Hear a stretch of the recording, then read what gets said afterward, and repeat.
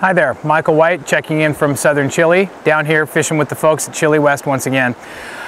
We've uh, been working our way upstream today, running the uh, Chubby Chernobyl 20 incher dropper and just railing on fish. Now it's time to uh, turn around and head back towards the truck.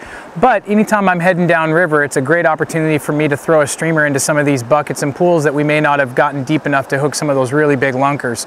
So what I'm gonna do is I'm gonna take about uh, two and a half, three feet of O1X tippet and I'm gonna attach it to my seven and a half foot, uh, seven and a half foot leader.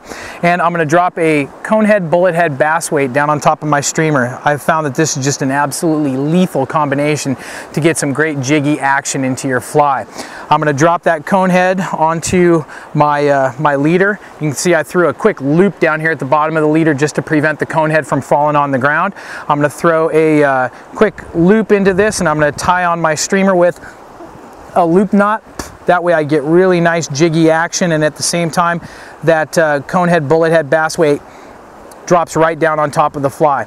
I'm gonna twist this together, drop it in there, and be set up and ready to go. I guess that didn't work on the old loop.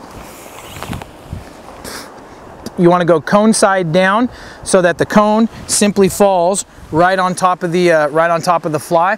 You want to make sure that when you're fishing this that you keep a really wide open loop. We've already had a couple of rod casualties this week from some people learning how to fish this.